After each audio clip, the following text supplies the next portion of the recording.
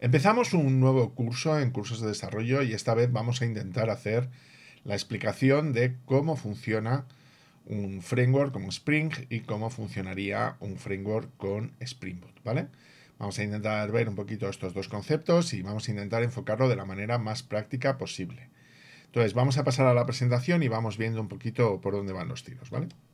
Entonces, en este caso, si os dais cuenta, tal, tal como lo tenemos definido, tenemos esta, esta presentación y vamos a ir viendo un poquito qué es lo que vamos a hacer. Bueno, los objetivos que nosotros tendríamos eh, dentro de esta unidad sería saber cómo se procesa una petición web, saber cómo se define una API REST, saber cómo definir rutas eh, de ese API REST o endpoints ¿no? dentro de la aplicación, saber manejar los parámetros de ruta dentro del controlador, saber manejar un valor devuelto, saber elegir el estado que nosotros queremos devolver y acceder a los modelos desde los controladores, ¿vale? En el índice principal de temarios que tendríamos por aquí sería una introducción, uso de controladores, eh, testing, API REST, testing del API REST, eh, hacer uso de Response Entity, eh, testing de Response Entity, Controller Advice, Swagger API y HatWash, ¿no? serían los elementos principales. Empezamos por la introducción. lo principal que nosotros vamos a hacer a partir de aquí sería la parte de gestión de la creación del proyecto. Nosotros lo que vamos a utilizar a efectos prácticos será, vamos a utilizar la base de Spring y vamos a utilizar la base de un proyecto creado con una herramienta denominada Initializer. Esta herramienta llamada Spring Initializer lo que nos va a permitir es poder gestionar el proyecto. ¿Por qué vamos a utilizar esta herramienta? Porque es una herramienta muy sencilla, que lo único que nos va a permitir es poder crear el proyecto desde cero, donde le vamos a indicar las dependencias que nosotros queremos crear del proyecto y una vez que nosotros creamos esas dependencias del proyecto podemos directamente arrancarlo dentro de un IDE y empezar a utilizarlo con lo que nosotros necesitamos. Entonces, al crear el proyecto normalmente vamos a poder escoger si queremos utilizar como base de la compilación del proyecto vamos a utilizar Graders o vamos a utilizar Maven. Entonces, esto ya dependería de los conocimientos previos que vosotros tenéis. Si venís de un desarrollo de Java, lo más habitual es que al menos conozcáis Maven. Entonces, nosotros vamos a enfocar inicialmente la formación para poder utilizar por defecto Maven. Que si queréis utilizar Gradle sería relativamente sencillo de poder hacer también. Lo siguiente que se debería de poder escoger sería la parte correspondiente a qué lenguaje de programación queremos llegar a utilizar. Si queremos utilizar Java, si queremos utilizar Kotlin o si queremos utilizar Groovy. Esto ya dependería de lo que vosotros queráis utilizar. Nosotros en el curso vamos a ir a por Java básico. A partir de aquí hay diferentes versiones de Spring Boot que nosotros podemos llegar a manejar. En este caso serían o bien Milestone, es decir, versiones finales, ¿no? O bien eh, Snapshot que nosotros queramos utilizar. En nuestro caso siempre vamos a intentar escoger la última versión disponible que tengamos de Spring Boot a la hora de poder marcarlo, ¿vale?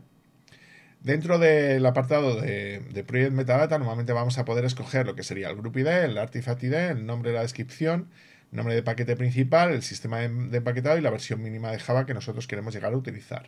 En este caso, normalmente será muy sencillo, siempre suele ser el nombre de la organización, el Group ID, y en el Artifact ID suele ser el nombre del artefacto, el nombre de la aplicación o biblioteca que nosotros estamos gestionando. A partir de aquí, evidentemente, vamos a colocar lo que sería el paquete principal de la aplicación y normalmente vamos a escoger el sistema de empaquetado. Esto, evidentemente, si nosotros vamos a hacer un despliegue en un servidor Java que nosotros tengamos creado eh, previamente, pues evidentemente tendríamos que escoger WAR, ¿no? el sistema de empaquetado tipo WAR, pero normalmente con Spring Boot normalmente suele utilizarse el sistema de empaquetado JAR para que autoarranque el microservicio, ¿vale? Y luego, pues eso, dependiendo de la versión de Java, nosotros siempre vamos a intentar escoger la última versión estable de LTS que tengamos de Java. En este caso, según estamos grabando esto, sería la versión 17. A partir de aquí, lo que tendríamos que hacer sería seleccionar lo que serían las dependencias correspondientes del proyecto. Entonces, a partir de aquí, evidentemente, vamos a buscar esas dependencias o starters, que es como se suelen denominar, y a partir de aquí ya los iríamos añadiendo a nuestro proyecto.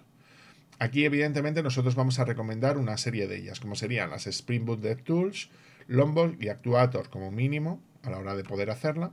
Y luego por el otro lado vamos a intentar colocar lo que sería la parte correspondiente a los repositorios REST, que sería la parte con la cual nosotros nos vamos a comunicar. Entonces podríamos utilizar Spring Boot REST Repositories, Spring REST Docs, eh, los repositorios Hard Explorer o incluso el Spring eh, ¿vale?